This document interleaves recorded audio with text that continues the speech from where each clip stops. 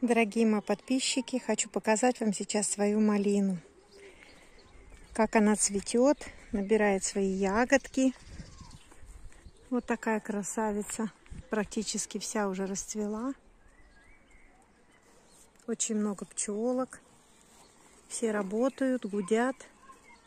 Вот в этом состоянии малину очень хорошо нужно поливать, чтобы земля все время должна быть влажная чтобы малинка могла наливать крупные ягодки. Вот такие вот ирисы, красавицы.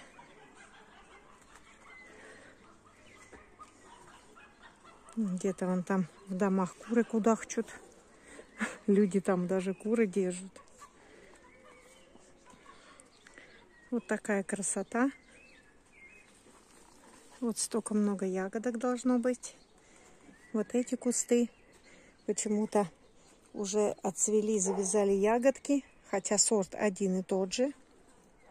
Но здесь, я так думаю, по всей видимости, мы набираем воду из бочки, и вот здесь ставим лейки свои.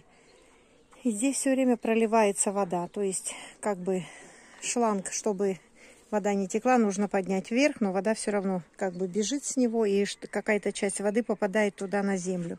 И, видать, все-таки больше там мокрая земля, и кустику больше влаги достается. И здесь ягодки все уже практически отцвели. Посмотрите, они все уже в малинках. Все. Вот. Некоторые еще последние цветочки доцветают. И все. И уже практически везде завязаны ягодки. То есть теперь самое главное дать хороший полив. Можно хорошую подкормочку дать для э, ягодных культур. Любое удобрение, можно универсальное. Вот, залу хорошо. Вот, ну, любое, какое у вас есть удобрение, полить сначала хорошо кусты, чтобы земля была влажная, а потом по влажной земле подкормить ее любым удобрением.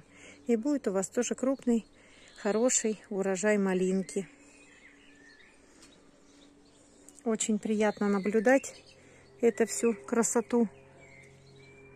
Очень как-то быстро и стремительно в этом году все развивается. Сегодня только 4 июня. Вот, а малинка уже завязалась. По-моему, в прошлом году это было намного позже. Так что вот такие вот дела.